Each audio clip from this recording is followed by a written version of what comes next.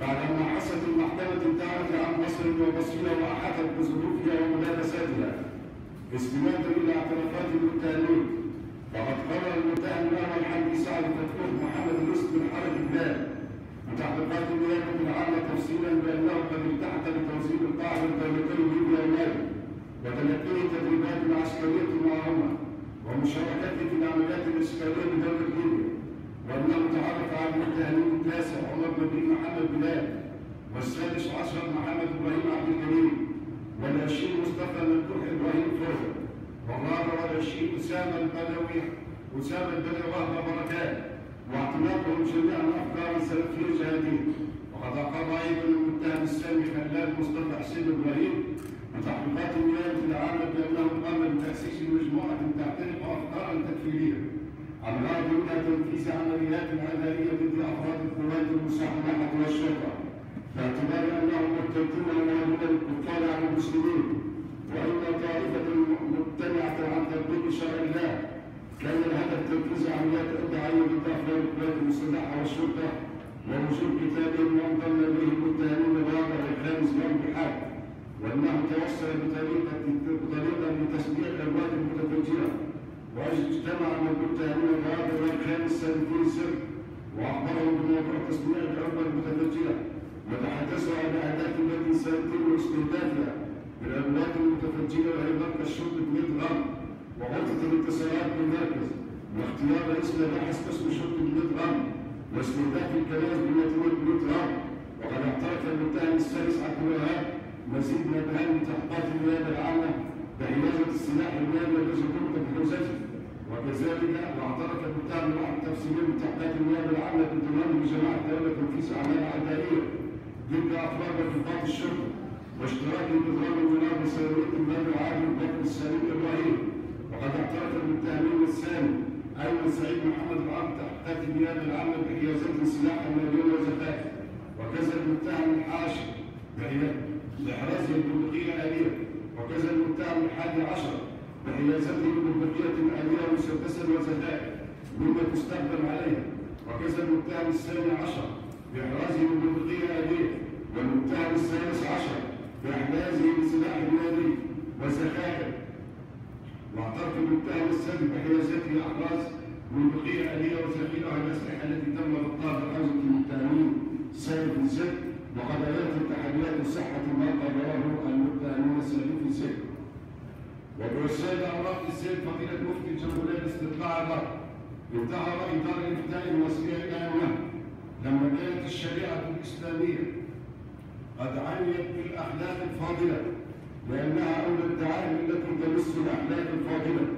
والعلة في إتمام الشريعة الإسلامية بالأخلاق الفاضلة أن الشريعة تقوم على الدين وأن الدين يأمر بمحاسن الأخلاق ويحدث إلى تكوين جماعة خيرة. وأن الدين لا يقبل التغيير أو التبديل ولا الزيادة ولا النقص ومن ذلك أن الشريعة ستظل ما بقي الدين الإسلامي حريصة على حماية الأخلاق. آخذة بالشدة كل من يحاول العبث بها. ومن أجل ذلك عرفت الشريعة الإسلامية الجرائم وشرعت لها العقوبات.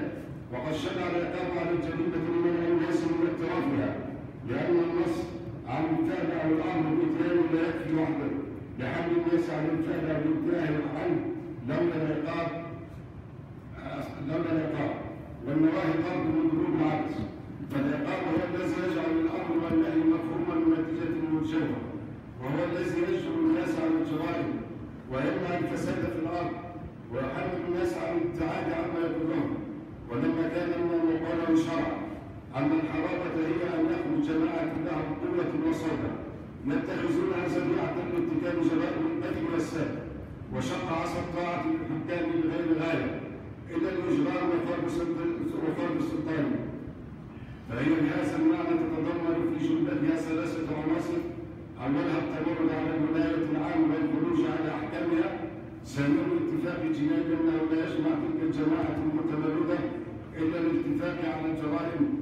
ثالثا إذا تضمن المجاهرة بالإجلال بالإكرام وارتكاب جرائم القتل أو السلب أو السرقة أو الاعتداء على الأعراض من أجل ذلك فقد أوجبت الشريعة الإسلامية عقوبة لهذه الحرابة أو عقوبة المتآمرين على أمن الناس.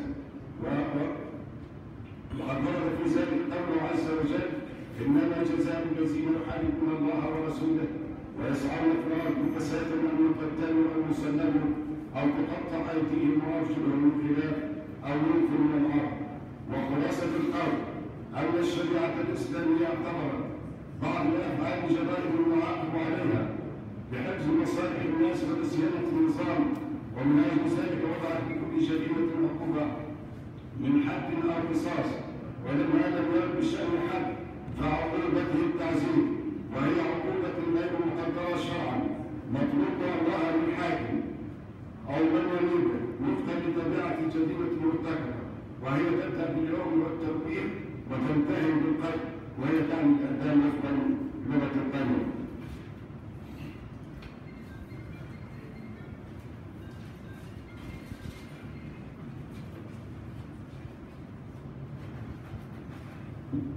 منطق الأول. بعد مطالعة الأوراق وسماع المرافعة الشف-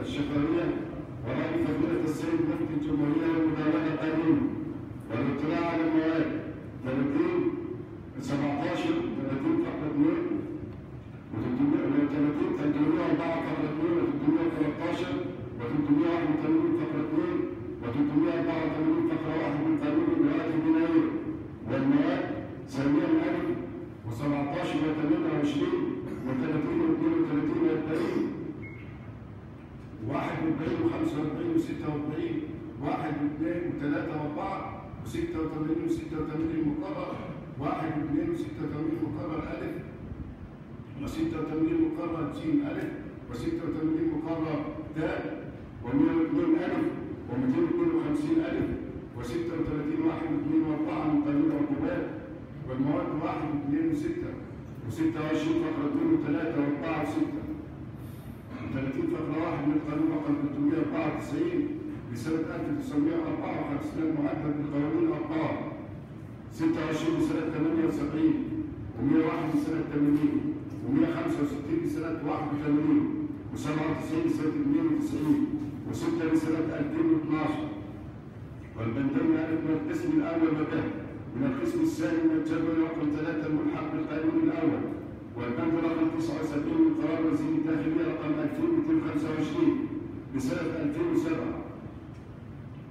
بإعادة حصر مواد المفرقعة والتي تعتبر في حكم المفرقعات والمادة من قرار رئيس الجمهورية رقم 298 بسنة 1995 بشأن تأمين الحدود الشرقية بجمهورية مصر العربية.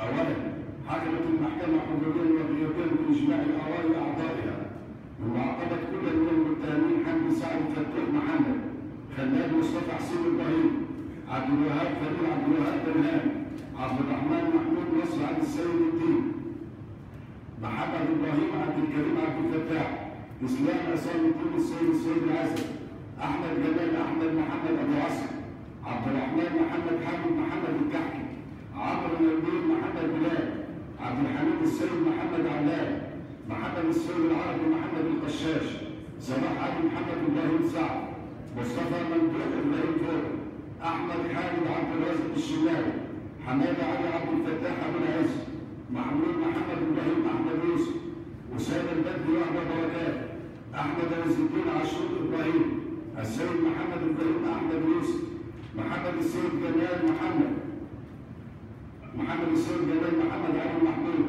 محمد إبراهيم محمد عبد الحافظ السيد حسنين بالإعدام شرطا ثانيا معاقبة كل من أول سعد إبراهيم محمد عبد الرازق المكاوي عيسى محمود محمد إبراهيم عامر محمد أبو الخير خالد موسى والسجن المؤبد عما أسند لكل منهم ثالثا معاقبة كل من أسامة إسماعيل إبراهيم البحيري عبد المكرم أحمد خير خالد علي وخالد علي محمود أحمد بن الشار بالسجن المشدد لمدة 15 سنة عما ارسل لكل منهم وضع كل من كل من المحكوم أيضا والسنة المؤكد والمشدد لمدة 15 والمشدد لمدة خمس سنوات تحت مراقبة الشرطة. خامسا مصادرة الأسلحة والذخائر وكافة المربوطات التي تربطها بحاجة للتأمين. سادسا الإنسان المحكوم عليه بالمصاريف الجنائية.